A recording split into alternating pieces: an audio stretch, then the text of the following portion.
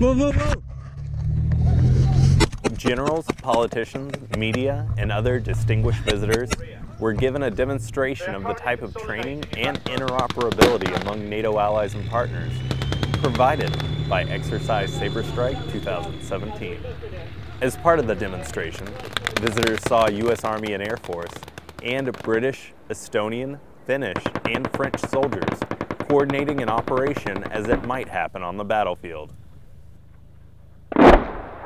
The first thing uh, we, we, need to train for, for real case scenarios, but the second thing I think is important always that soldiers from the different uh, NATO countries come together, experience how they work together, how, how easy or how difficult it is to, to train and learn the languages. And language, I'm not talking about speaking language, I, am talking about how the mental language is between the French, the British and the Americans and the Estonians.